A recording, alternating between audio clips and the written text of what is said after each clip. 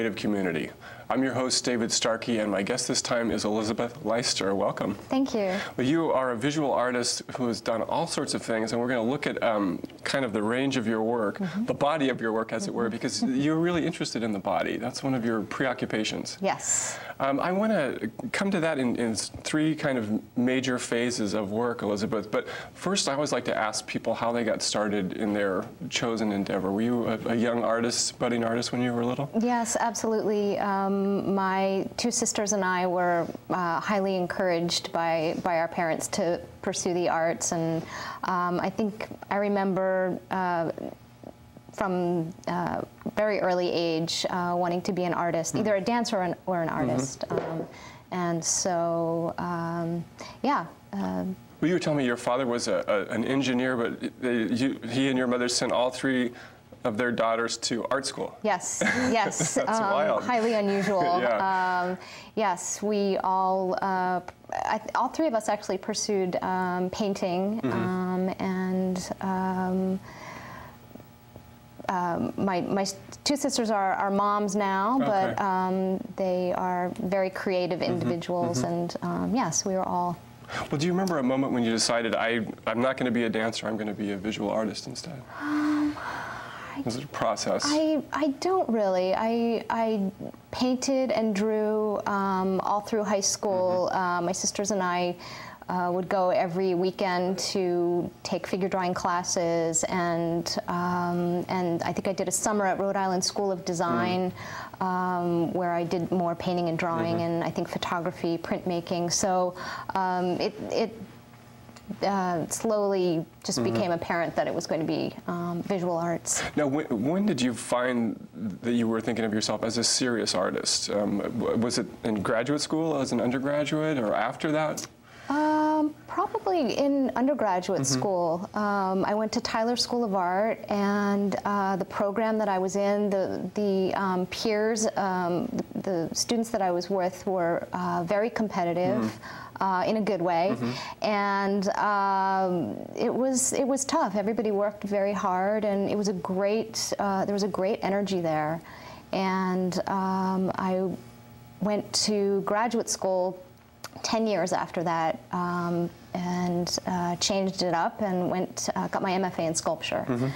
Um, I in that interim I started making work with found objects and uh, a lot of work with fabric and actually clothing. Mm, and, okay. um, and we'll see some of that, I think. Actually. Yes, yeah. yes. Well, that, that, that's a kind of a good entree for me to ask you about the first phase. We're going to talk about the, the body and representations, particularly as it applies to women. Mm -hmm. um, maybe let's go into the first piece that we have and we can kind of use that as a, as a jumping off okay. point. Um, talk to me a little bit about um, what it is that we are about to see? Um, this was um, a wedding dress that I created out of um, plastic sheeting, just uh, plastic uh, that you would buy in the hardware store. And um, it was sewn, hand sewn and sewn on a sewing machine. And I think the, the body of the dress is about 12 or 15 feet long, and then there's a, a train. it's um, enormous. yeah, it's plastic, huge. Yeah. It, it's huge. Um, so I was interested in um, questioning uh, some of uh, society's expectations about how women should look, mm -hmm. um, how they should act, what they should do. And um, that was one of the pieces from, I think, the early 90s. Let's take a look at the next one that we have.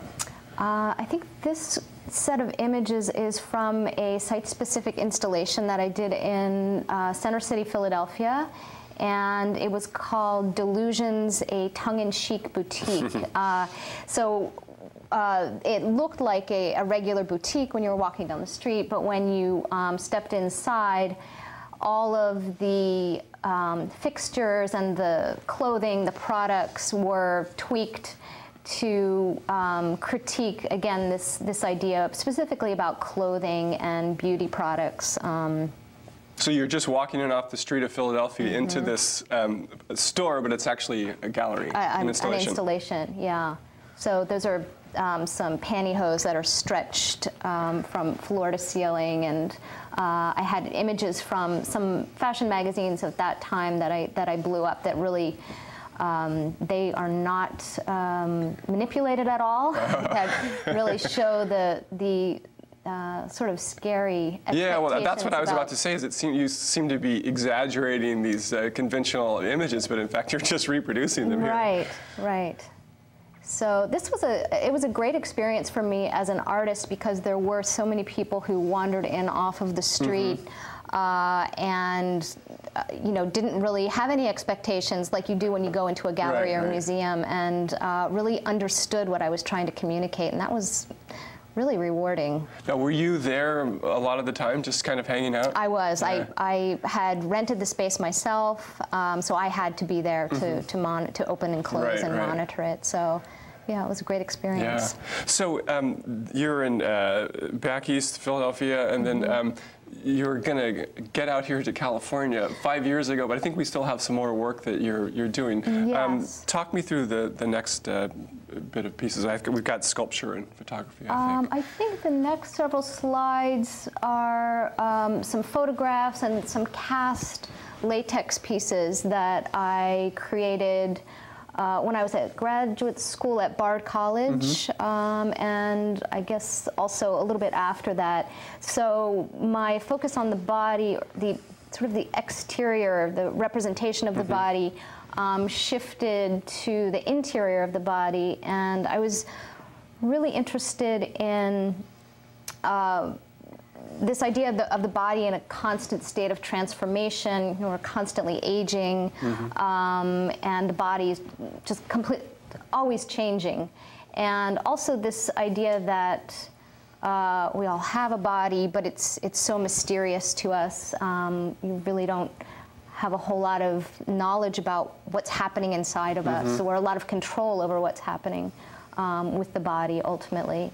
Um, so again, this also sort of marks a shift in my work from uh, sculpture to photography mm-hmm. and ultimately leads to uh, video. The video work that you're going right. to show us later on. Right. Well, this is um, not the first time I've talked to a, a, sculptor who's been working in non-traditional materials like latex. Um, what are some of the advantages and disadvantages of working in that as opposed to, to bronze or Oh, and late, the latex um, was really interesting to me because it uh, I could color it mm. and it it had I could color it so it had that flesh tone mm-hmm. and really mimic um, sort of a skin quality mm-hmm. and the flexibility of it. Right. Um, uh, yeah. What so about its durability? Is that something that's going to stick around for a while? Or does uh, that matter no. to you? In fact, a lot of those um, sculptures are uh, have started to decay and, and dry up and, uh, and transform themselves, which uh, is it's interesting, an interesting because process it, in itself. Yeah. Right, it, it, mimics the, the concepts behind the work actually. Right.